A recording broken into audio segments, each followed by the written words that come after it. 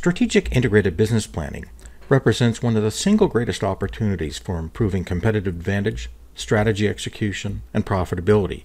It does this by enabling global manufacturers to more effectively manage complexity.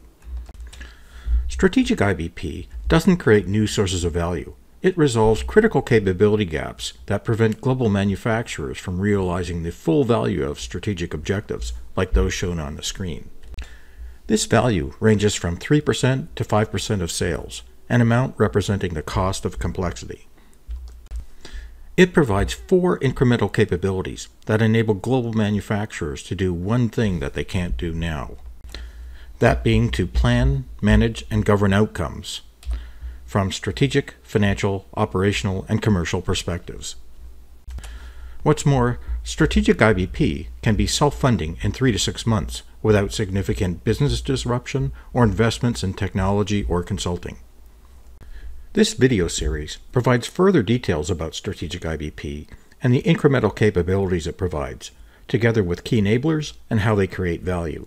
Please feel free to view them. Thank you for watching this video. For further details about its contents, please feel free to use the contact information shown on the screen.